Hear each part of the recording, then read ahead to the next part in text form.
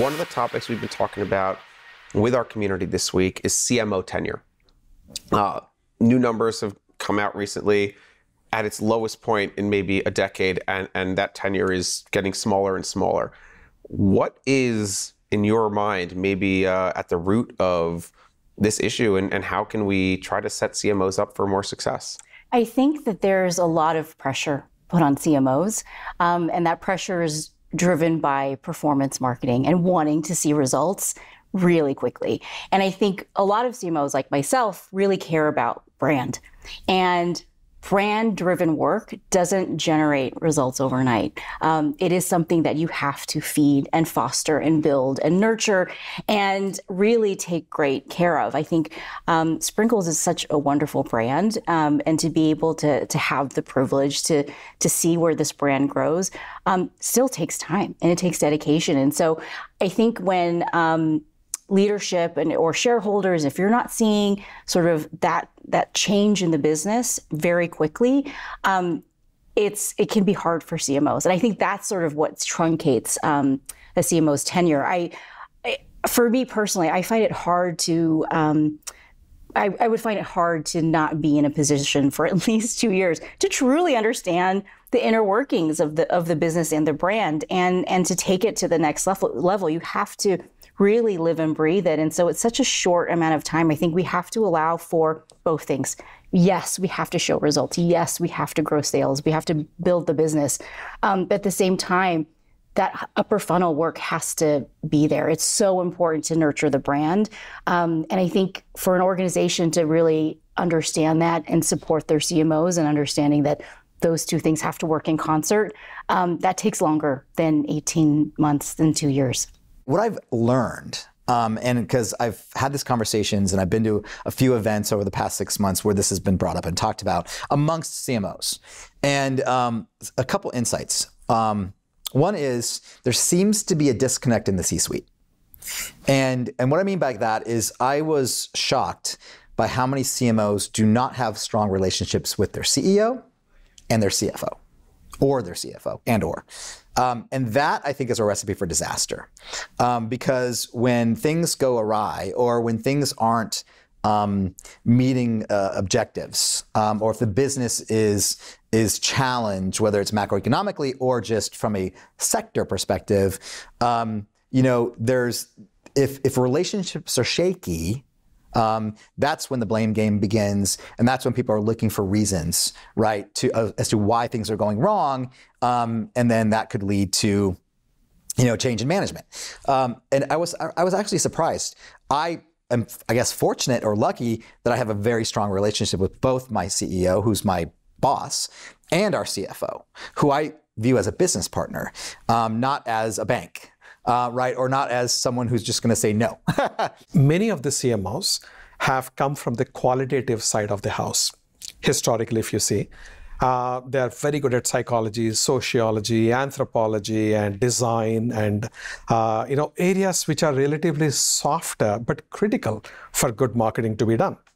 Now, when you put those folks in a high tech environment or a technology driven environment, which marketing has become, and marketing has become very quantitative with data drivenness, they are finding themselves a little out of water. That's one part of it. Second, when the CEO asks a question, saying that, okay, we have given you $100 million. What exactly did you deliver? Show me the proof of performance. You can show performance marketing, but brand results are much more difficult to establish and show the, CA, uh, the returns on investment. Because of that, what happens is the CMOs who are not data trained and tech trained, they look at the CEO like you know a deer caught in headlights that erodes the credibility. And that starts actually in, in, a situation where the CEO loses confidence in the CMO. And then, even if it is a very good CMO, because the CMOs are not able to talk the language of the business and to connect the dots between marketing and the business, they're being let go, or they're doing so well and other companies are actually very anxious to hire the best of the CMOs, they get hired away. So, this is what is driving the lower and lesser tenure. And what can be done, I would say, are two things. Firstly, CMOs have to really train themselves. Uh, if they have not uh, already trained or been trained before, to understand the business the business in number terms not just in understanding conceptually what the business is but to understand exactly how does the business make money and in a safe environment, maybe they should reach out to some finance people outside the company, or maybe some professors or to some seasoned uh, CMOs and say, hey, help me understand. And ask for being taught uh, how their business actually runs. And also, in, in many cases, I advise my uh, team members go to your CFO counterpart and say, hey, can you explain to me how do we make as a company money? Uh, where do we make money? How do we make money? And what do you think marketing should do? You will get tremendous amount of insights. When you are able to do that, your credibility as a CMO or as a marketer for that matter really increases in any given company. So this is the first thing. Second, I think also, at least the associations uh, such as the ANA have to start doing an outreach to the CEOs and to educate them both the CEOs and the CFOs, saying that, look, this is what marketing is. This is why it is critical for your company's future. And this is how some of the successful companies have demonstrated how marketing is really doing a fantastic job. And this is within your reach if only you give a chance to your marketing team and to your CMO. I think it needs to be a concerted effort. And otherwise, right now, it's a little bit like an existential threat for many CMOs and for many marketing departments the role is changing faster than we in the role are doing a good job of keeping up to date the people who are our key constituents and understanding what we're doing. So one of the things I always talk about is that, you know, we have an amazing CFO at, at General Mills, and I know that our CEO thinks he's doing a great job because he is, but he's also doing fundamentally the same job that CFOs have been doing for a long time.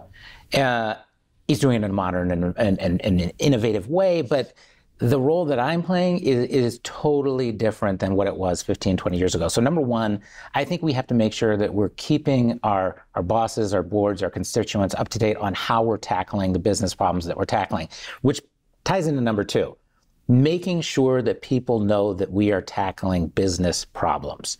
I never want to be in the position of, oh, Doug's off doing something that he thinks is cool. I always say that financial questions need financial answers. And when that CFO comes to you and says, hey, there may be $10 million available to spend, what are you going to do with it? Your answer better be a financial answer because that's what he's looking for.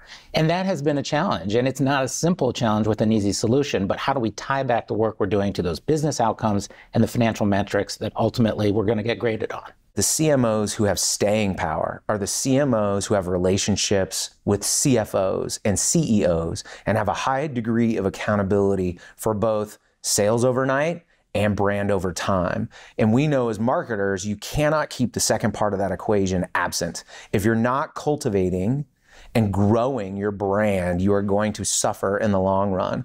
But you have to have an accountability to the business on a daily basis.